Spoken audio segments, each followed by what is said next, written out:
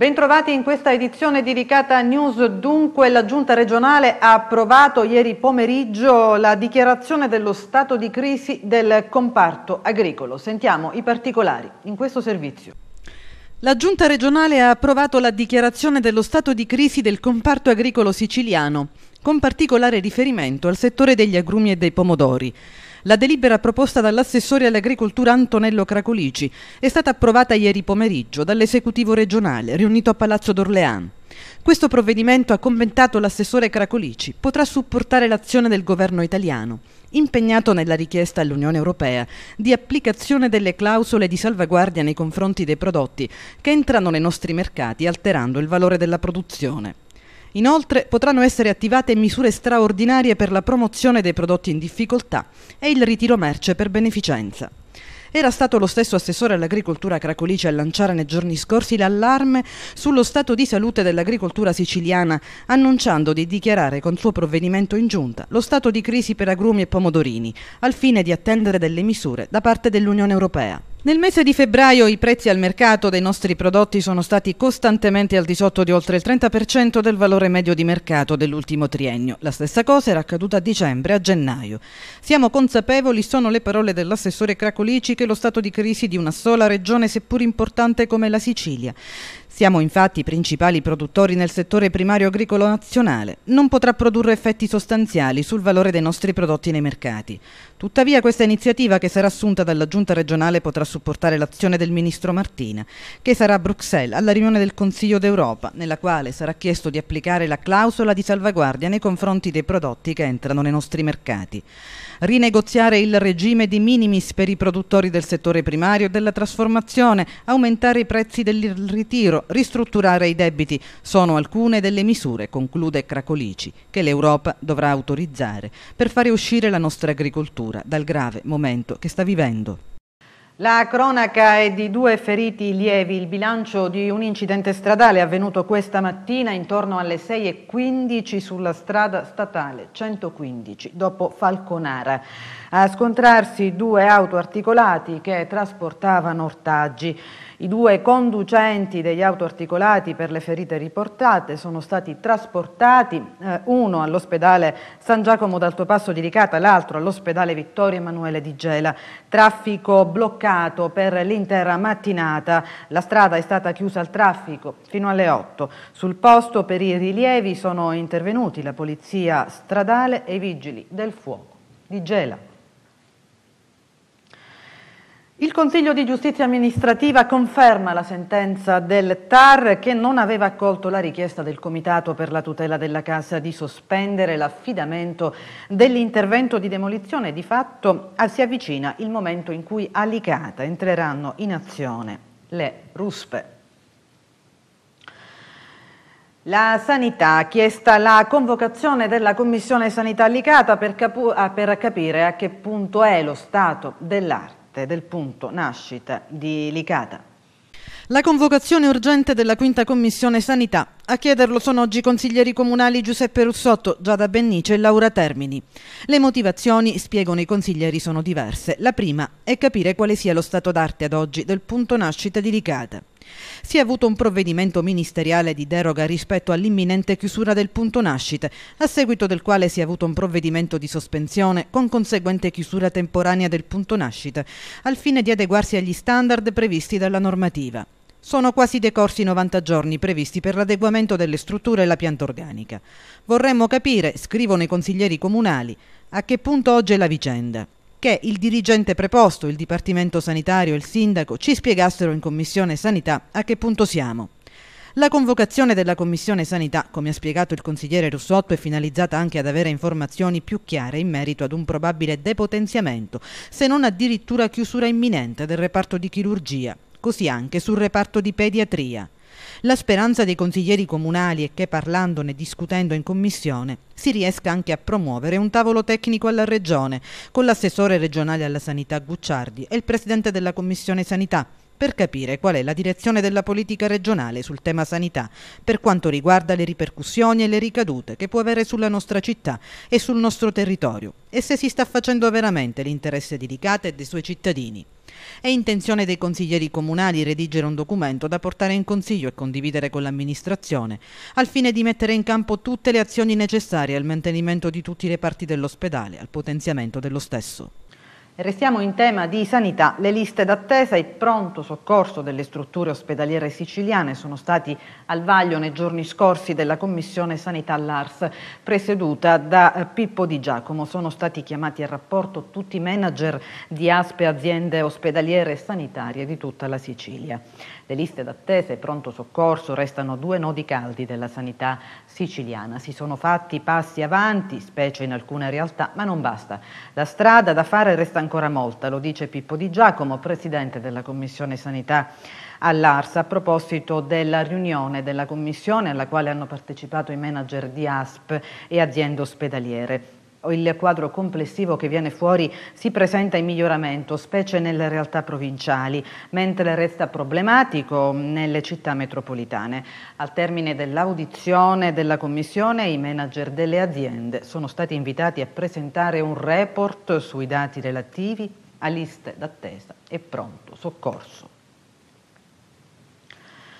Il sindaco di Licata Angelo Cambiano ha sollecitato l'ANAS per intervenire per il ripristino delle strade statali a garanzia della sicurezza lungo le strade ricadenti all'interno del territorio comunale di Licata, i particolari in questo servizio. La sicurezza nelle strade statali ricadenti all'interno del territorio del comune di Licata è quanto mai urgente e necessario ed è per questo che il sindaco Angelo Cambiano nei giorni scorsi ha incontrato il responsabile dell'ufficio ANAS di Agrigento, l'ingegner Rita Giglione. Il primo cittadino ha segnalato perciò alcune lacune presenti nelle strade statali ricadenti all'interno del territorio del comune di Licata e ha chiesto altresì i conseguenziali interventi di ripristino.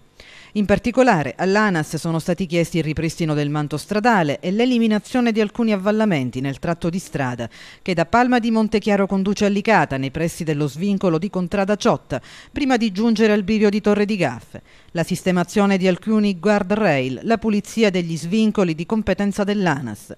Chiesta altresì l'eliminazione di erbacce lungo le strade, soprattutto in prossimità degli svincoli, con particolare riguardo per quei cespugli che ostruiscono la visibilità dei segnali stradali. Il primo cittadino ha chiesto inoltre la sistemazione della segnaletica, sia verticale che orizzontale, e la collocazione di nuovi segnali anche per una maggiore valorizzazione del ricco patrimonio paesaggistico, culturale, archeologico e monumentale della città. Il tutto, ha dichiarato il sindaco, è stato fatto ai fini non soltanto del decoro delle strade, di conduzione da e per Licata, ma soprattutto ai fini della sicurezza di quanti, e sono molti, quotidianamente attraversano le stesse, sia con automezzi che con altri mezzi di trasporto. Rosario Crocetta è già in campagna elettorale dopo aver annunciato ieri che ha intenzione di candidarsi per succedere a se stesso nel 2017 convinto di farcela. Crocetta non è rimasto con le mani in mano. Il presidente della regione si sente già in campagna elettorale ed ha iniziato il suo giro di consultazioni riservate, ma non certo segrete. Sono 600 tra mm, docenti e personale ATA le persone che hanno ricevuto la revoca delle sedi ottenute grazie alla precedenza eh, prevista dalla legge 104 e già rispediti alla sede scolastica dove erano stati originariamente assegnati, ma eh, dall'inizio di aprile scatterà la cosiddetta fase 2, ossia il controllo su 30 dipendenti che hanno chiesto ed ottenuto dal 1 settembre del 2015 grazie alla legge 104 il trasferimento trasferimento in provincia di Agrigento. Questi, come spiega il direttore dell'Inps di Agrigento Gerlando mm, Piro, saranno convocati dalla commissione medica per le visite e l'esito definitivo, anche se di assenza ingiustificata, verrà eh, comunicato oh, ufficialmente all'ufficio scolastico. Prosegue ad Agrigento la protesta dei 12 operatori ecologici licenziati che hanno deciso di farsi sentire e tornano ad occupare il comune, il servizio della redazione di TV Agrigento. La festa è finita, la lotta riprende, la pace è simbolo della sagra del mandorlo in fiore tanto invocata è forse solo una questione internazionale, un valore troppo nobile ed esteso per limitare i benefici tra le mura comunali. E allora gli effetti saranno rimasti lontano da Palazzo dei Giganti, laddove il messaggio è partito. E così i 12 operatori ecologici di Agrigento che per mesi hanno protestato davanti al municipio per essere rimasti esclusi dal nuovo bando i cui tagli economici hanno determinato una diminuzione della forza lavoro hanno deciso di farsi nuovamente sentire e vedere. Eccole qui sono tornati per rivendicare il posto di lavoro. A sollecitare questa mobilitazione bis la richiesta avanzata ieri mattina da CGL Cisla Will al prefetto di Agrigento Nicola Diomede per un nuovo incontro dopo quello avuto nelle scorse settimane. Vogliamo capire, scrivono i segretari confederali e quelli di categoria delle tre organizzazioni, a che punto è la querella tra comune e raggruppamento temporaneo di imprese, che pare si siano arenati sulla proposta di variante migliorativa ai sensi dell'articolo 10 del capitolato speciale d'appalto che non sembra essere stata completamente gradita dal comune, che annuncia che risponderà. Il rischio che intravediamo è che del tutto legittimamente questo clima, tuonano le sigle sindacali, possa continuare all'infinito e che quei lavoratori che sono fermi da troppi mesi possano continuare a rimanere disoccupati. Da qui la richiesta al massimo rappresentante provinciale del governo per la convocazione di un'ennesima riunione che possa servire a capire come stiano realmente le cose e dove la questione si sia arenata. Nel corso dell'ultima riunione in prefettura si era ripartiti da dove si era rimasti la scorsa estate. La chiave di volta individuata era sostanzialmente la stessa che le imprese avevano dato come possibile già nel mese di novembre, ovvero sottolineano CGL, CISL e WIL, quello di utilizzare le risorse del potenziamento estivo, riarticolando complessivamente il servizio stesso. Ma allora il Comune la bocciò, salvo poi rivalutarla. Scoppierà la pace? Adesso ci fermiamo la linea Valregia, c'è la pubblicità. A tra poco con le altre notizie e gli altri servizi. Serena Pasqua da Studio legale associato Angelo Balsamo. Farmacie Gagliano. Officina Oliveri Giuseppe. Vanilla Caffè. Tabaccheria Montana Luciano. System Color SNC. Buona Pasqua da tutti noi.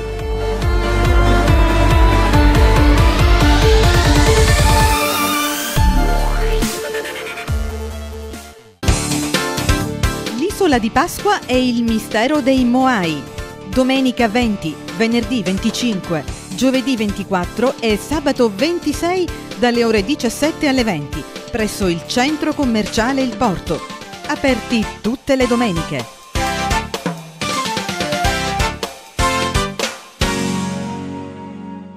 Questo programma è offerto da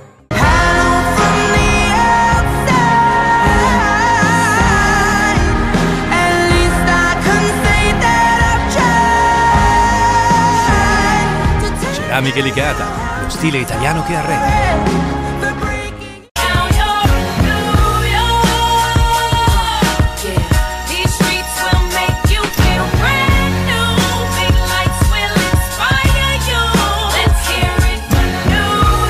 Joe fa sempre la differenza.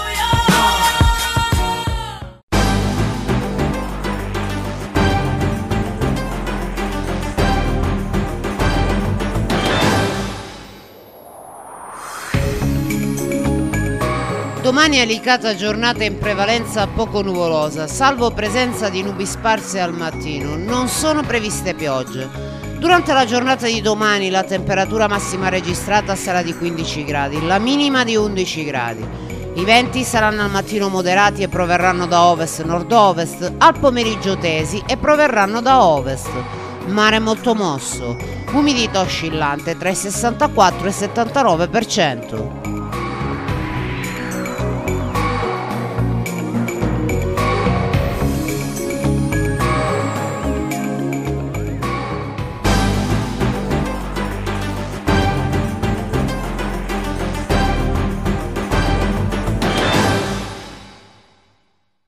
Questo programma vi è stato presentato da Dai fratello Antona, grande la qualità, grande la scelta di piccolo, c'è soltanto il prezzo, scusate se è poco. Serena Pasqua da Cader di Gambino Salvatore. Sivauto di Pendolino. Antona SRL. Linea R Motors di Vincenzo Vella. Metaltech di Antona Gioacchino. Officina autorizzata Renault Bontà Calogero. Autoricambi Domenico Sanfilippo. Buona Pasqua da tutti noi.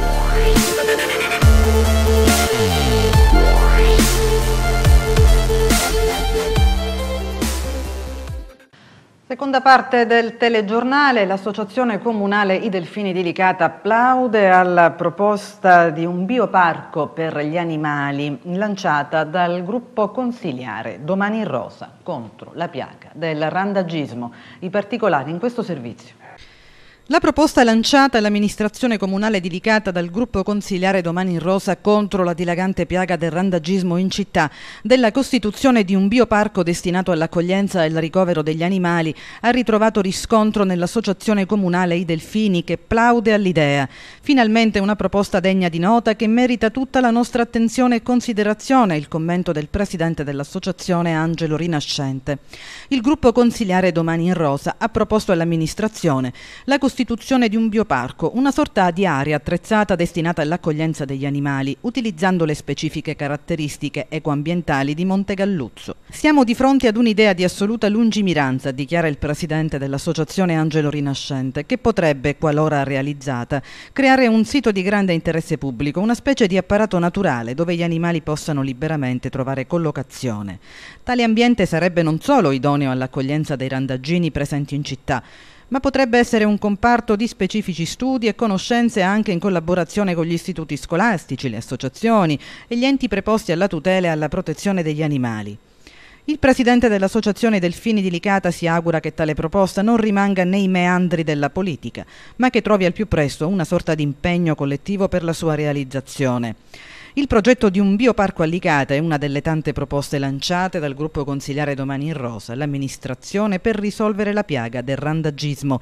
Il progetto, come ha spiegato il consigliere Violetta Callea, vedrebbe realizzare una struttura ricettiva sanitaria, ma anche un ricovero idoneo alle esigenze del territorio. Creare quindi un canile consortile coinvolgendo i paesi limitrofi che fruiscono della forestale di Monte Galluzzo. Progettare un canile rifugio e sanitario consorziato con i comuni limitrofi permetterebbe anche anche l'abbattimento di costi di gestione e si potrebbero ospitare centinaia di cani. Sono 947 i reati penali e le violazioni amministrative accertati, 1185 le persone denunciate, 229 i beni sequestrati, per un valore complessivo di quasi 24 milioni di euro, contestato in 118 casi il nuovo delitto di inquinamento per 30 volte il disastro ambientale. Sono i dati degli ecoreati contestati in Italia dall'entrata in vigore della nuova legge che tutela l'ambiente e definisce in maniera precisa proprio i reati ambientali criminali. La, ehm, la, regione dove sono stati accertati più ecoreati è il Lazio. In Sicilia le infrazioni accertate sono 17, le denunce 87 ed i sequestri 14. Proficuo incontro ad Ancona nella sede dell'Istituto di Scienze Marine tra i partner impegnati nel progetto eh, Tarta Life, riduzione della mortalità della tartaruga marina nelle attività di pesca professionale, finanziato dall'Unione Europea con il contributo pari al 75% del budget totale dello strumento finanziario LIFE della, della Commissione Europea. L'incontro è iniziato con la riunione del Comitato di pilotaggio che sotto la guida dell'ente capofila ha fatto il punto delle variazioni del progetto a tre anni dal suo avvio.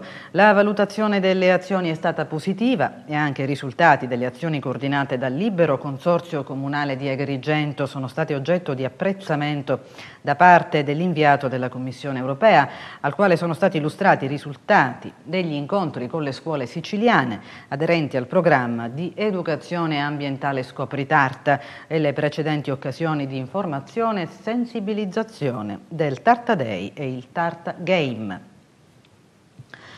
Si è svolta a Naro la manifestazione primavera della legalità, il servizio e le interviste a cura della redazione di TV Agrigento. Si è svolta ieri incontrata a Robadao a Naro presso il bene confiscato alla mafia assegnato alla cooperativa Rosario Livatino Libera Terra la primavera della legalità Giornata voluta dal Consorzio Agrigentino della Legalità e Sviluppo che ha visto la partecipazione di diverse rappresentanze di istituti scolastici dei paesi che fanno parte al Consorzio e dei loro primi cittadini. L'iniziativa, fortemente voluta dal presidente del consorzio, onorevole Maria Grazia Brandara, ha rappresentato sia un momento di festa ma anche di riflessione verso i giovani. Noi abbiamo voluto, anziché fare una giornata istituzionale, organizzare una giornata istituzionale con dei convegni che per carità hanno la loro valenza importantissima, abbiamo pensato di organizzare una schiticchiata con i ragazzi e con le persone dei comuni che fanno parte del Consorzio Agrigentino per la legalità e lo sviluppo. Noi siamo in attesa di un passaggio di Sua Eccellenza il prefetto eh, Diomede, aspettiamo il vicepresidente della regione siciliana Mariella Lobello, ma avremo anche le due testimonianze, ma in una maniera così informale, stando in mezzo ai ragazzi, di Sonia Alfano, che ricordiamo essere il padre, è stato la prima vittima riconosciuta di mafia in Sicilia, che ha, ha scelto insieme alla sua famiglia di trascorrere con noi questa sua giornata. E un'altra testimonianza dell'imprenditrice antimafia Valeria Grasso. I ragazzi toccheranno con mano l'importanza di eh, agire in maniera legale, che cosa significa legalità, che oggi io direi superare il concetto di legalità con quello ancora più importante di onestà. Bisogna essere onesti in qualunque azione della propria vita e quando si è davanti a un bivio non avere assolutamente dubbi da che parte stare. Solo così noi possiamo dare un futuro a questi giovani, guardate che bellezza vedere ballare, danzare questi ragazzini, giocare nella loro semplicità significa comunque davvero dare una speranza di futuro a questi ragazzi. Alla giornata della primavera hanno portato il saluto delle istituzioni il prefetto di Agrigento Nicola Diomede e il vicepresidente della regione Mariella Lobello. E devo fare i complimenti a tutti coloro che hanno organizzato tutto questo Ecco che si parla, di, di, si parla, di, legalità in un clima che comunque è come questa giornata di sole, in un clima di sorrisi eccetera. Spesso si va incontro alle ricorrenze con un atteggiamento, scusate il termine, un pochettino funereo. No, qua ci sono eh, ragazzi, bambini che vivono con estrema partecipazione e sorriso sul, nel viso e sulle labbra il tema della legalità e questo credo che sia anche un messaggio eh, bellissimo. Il 21 marzo è certamente un inizio per ogni cosa e anche qui è un po' una sorta di inaugurazione di anno per questa splendida struttura che da bene in mano ai mafiosi si è trasformata diventando un centro di aggregazione giovanile, quindi una primavera che vuole da un lato risvegliare le coscienze ma dall'altro vedere questi giovani ragazzi prendere quasi possesso di un bene che fino a ieri seminava, eh, fino a ieri seminava eh, paura, seminava in ogni caso caso impedimento di uno sviluppo ed oggi invece si trasforma, è affidato ad una cooperativa e questa cooperativa fa diventare quello che ieri era un patrimonio eh, in mano alla mafia, fa diventare un patrimonio in mano di tutti. Quindi devo dire che questo vivere in questo momento particolare così con questi ragazzi è davvero straordinario. È presente alla manifestazione anche Sonia Alfano, ascoltiamola nell'intervista della redazione, a cura della redazione di TV Agrigento. Qui a questo evento oggi anche la presenza di Sonia Alfano per testimoniare e parlare di legalità. Ecco quanto è importante oggi parlare di legalità anche in un territorio come questo agrigentino, come quello di Naro, anche alla presenza di tanti studenti. Ma io direi non anche a Naro, io direi soprattutto a Naro, soprattutto nelle realtà come Naro che sono purtroppo distanti dai grandi centri metropolitani, a volte uno può avere la sensazione che queste realtà siano distanti da certe situazioni o comunque lontane. Il messaggio da dare agli studenti, da dare ai ragazzi è sicuramente di fondamentale importanza, è un messaggio che va rinnovato ma deve essere un messaggio vero e non ipocrita, perché spesso attorno a queste manifestazioni antimafia ruota tal talmente tanta ipocrisia che si ha difficoltà a capire se è l'antimafia che cerca di sconfiggere la mafia o è la mafia che si insinua dentro l'antimafia. Purtroppo ormai abbiamo dimostrazione sempre più spesso che a volte è veramente difficile eh, intravedere e mirare comunque nei confronti di una, di una linea divisoria. Questo a me francamente dispiace tanto, dispiace tantissimo anche perché purtroppo lo dicevo tanti anni fa e credo che sia un messaggio altrettanto ancora attuale Fino a quando il crimine sarà organizzato e l'antimafia sarà disorganizzata perché troppi protagonisti, perché troppe prime donne, allora noi sare, non saremo nelle condizioni di poter fare una lotta seria, visto e considerato che la politica purtroppo sembra sempre più lontano da questi temi, nessun partito sembra avere a cuore eh, il quello che è la lotta alla mafia, una lotta alla mafia che sembra essersi fermata in Italia nel 96, nel 1996. Sono veramente poche le realtà politiche che cercano in qualche maniera di mettere nella loro agenda la priorità come lotta alla mafia. Poi, ripeto, le parole possono essere tante, però alle parole bisogna dare un senso e alle parole soprattutto bisogna dare seguito con i fatti. Oggi ci tenevo in maniera particolare a partecipare a questa iniziativa, non tanto per il semplice fatto della data comunque nazionale, che oggi è una data importante, ma intanto perché volevo essere qui perché credo nella persona in cui, tra l'altro che l'ha organizzata, che è appunto l'onorevole Maria Grazia Brandara, perché una cosa è organizzare gli eventi per la legalità, una cosa è vivere nella legalità ogni giorno, per cui è importante che oggi la viviamo, è importante che tutti diamo un messaggio, che siamo tutti qui, però il mio messaggio vorrebbe essere che questa giornata ricordiamola ogni giorno, non soltanto nelle date dove oggi tutti parliamo di legalità. Che ne pensi di questa iniziativa di oggi?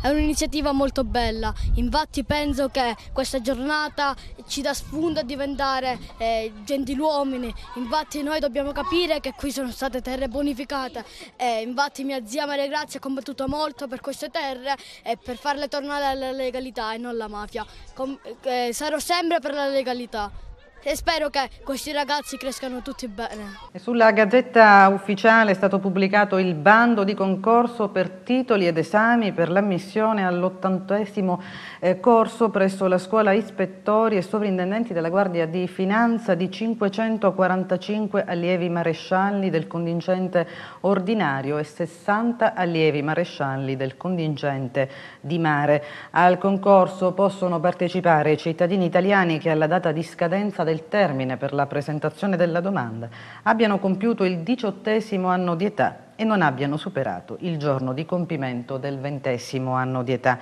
e che siano in possesso del diploma di istruzione secondaria di secondo grado. La domanda di partecipazione va compilata esclusivamente mediante la procedura informatica e sul, eh, entro l'11 aprile 2016. Con questa notizia è tutto, il telegiornale termina qui, grazie per la cortese attenzione, l'appuntamento alle prossime edizioni, arrivederci. Thank you.